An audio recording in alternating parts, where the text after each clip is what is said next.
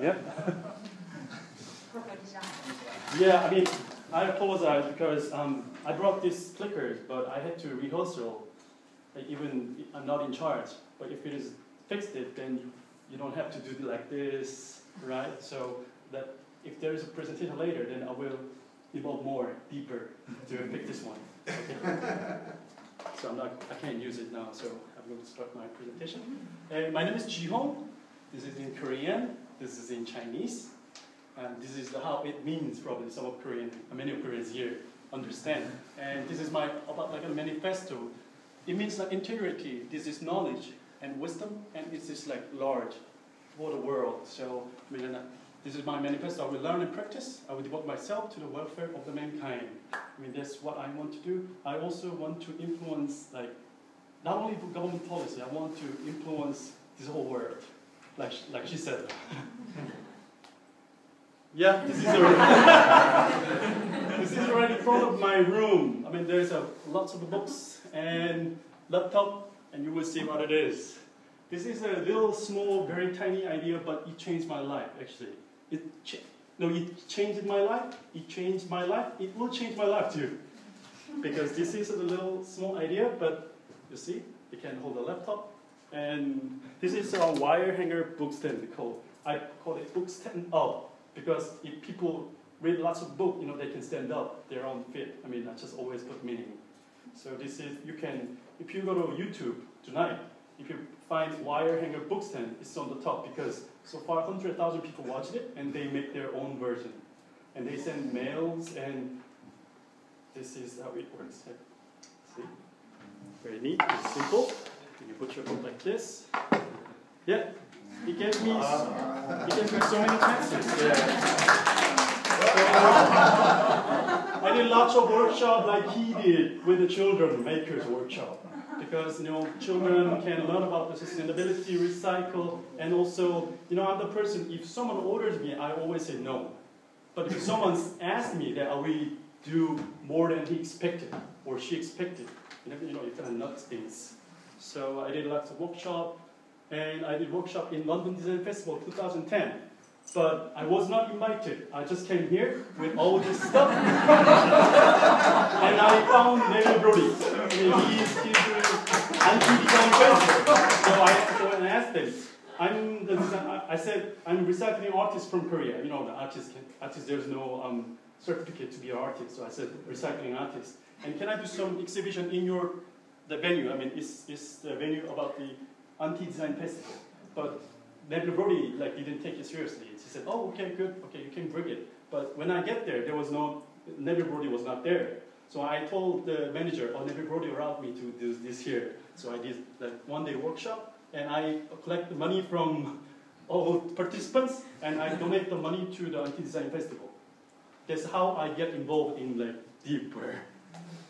And this is another project that so far I'm doing. This is a yellow card project. This is reflector. Like British people are probably much more familiar with this product because in Korea, uh, visibility issue is very low. I mean, they don't mention about the why visibility is important, like be seen, be safe. It's a thing, it's not, I mean, not that in common because I had a hit, hit and run accident like seven years ago. I was hospitalized for two months. My bones are broke. I had an implant here I'm quite interested in so NHS service. and I had surgery here too because my ligaments was replaced. and so I was trying to um, changing children's behavior and also for the, the, all the stakeholders around the, the traffic area. So it's like of warning sign for the bad driver. You have you better drive be, drive carefully. You know, people think children can be must be protected, but I want to change it. They are the um, ruler. I mean, they they take away. I mean, they take charge. So be safe. Speed limits. so and also, so I want to um, give like users for better experience. I did some little bit about like kind of artistic project. I put I wear the referee's clothes with my friend. I put this for, and I changed this road as a like soccer field. So in blue light, I do like this, so let people walk. And in the red light, if, if someone, if some car cross like the line, then my friend goes and blow whistle and. But no one like was angry about it. Everyone was happy because it's like some, something like put soccer and transportation together. I think it is something about trade too. And I finished my military service. I served um, in Korean Army, but I was dispatched to United States Army. So I worked two years and I learned about what is leadership as what is, um, yeah, I mean, I, I was a decontamination soldier. and this is what I have done, have been done for 13 years. I was delivery boy. The right before they came here, I delivered pizza also.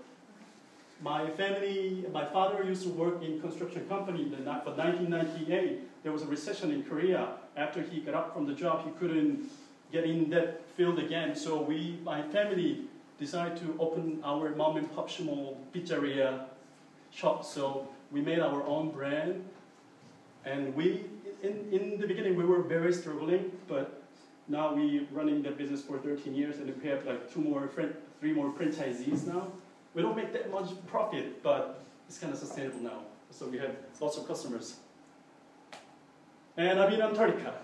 This is like the experience that I have done last year. This is um, British explorer Robert Swan. He's the person who went to North Pole and South Pole without any support. He said he's the first person, and he's OBE, or the Order of British Empire. And this is my colleague. You will see this, all the person has a... and like there will be alumni meeting. This, this event has been done like 10 years, so all the alumni are spread the world. That will be my support group. I also support them.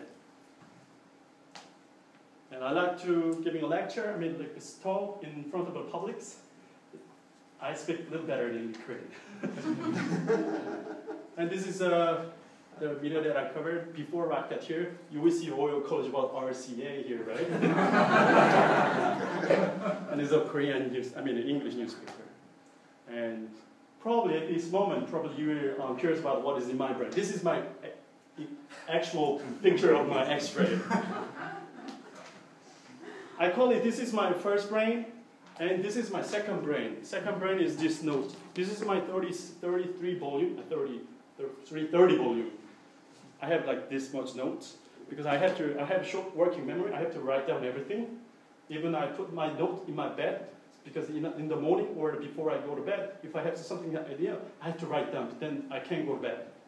I'm kind of obsessive of like writing or thinking about the ideas. So this is how relation between I, my first brain and second brain, how it will be connected. and my dream is like, I always think that kind of visually, I found out, I don't know. So like, if there's a problem, I want to put it in my, in, inside of myself, and I want to make it and want to hand it to someone else. Yeah, this is uh, probably Dr. Nick Leon probably didn't know. When I applied this school college, you know this college tuition fee is like higher than any other school. But I had no money, frankly speaking. My, you know, but to, to get an offer, it costs only like two, if I have like 30, uh, 3,000 pounds that I can get offer, you know, round trip and taking a course and submitted the application. After I got an offer, I start fundraising. These, these are my kind of blueprint and roadmap and how, how to get in this school. So I thinking about having like 10 um, donors who can support myself. So I sent proposals to like, I think more than 100 corporate and individual. So I mean, this is a, I didn't draw it. I don't have ability to write like this. My friends made this one. And so, so far I made, I fundraised for four, four months, uh, 30, more than 30,000 pounds. My mom didn't, my mom does not even know how much it costs to come here. I didn't tell my mom. Because my basic condition was, if, if I need to get support from my parents, actually I was going to give up. But I it actually.